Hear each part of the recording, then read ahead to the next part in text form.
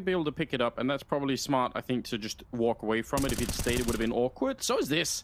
NertZ taking down blameF. Very interesting. Uh, all right, so they lose the round that probably was winnable in the previous one, but now this one, through the smoke, they're just they're just banging them out across the map. This is really sick. Buzz on his own, one versus four. Got about 40 seconds left. He could win the round. Look at him go. Oh my god, he's turned it into a one versus one.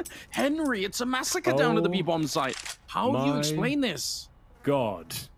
That was just unbelievably sick mechanical skill coming in from Buzz there. If he wins this round, my God, this is one epic performance. He needs one more kill here against NertZ, currently residing towards heaven, and Buzz biding his time. He's just waiting patiently. He knows the NertZ eventually have to make the drop. He goes for the Pico, but he does just get it. He was low on health to begin with. What a great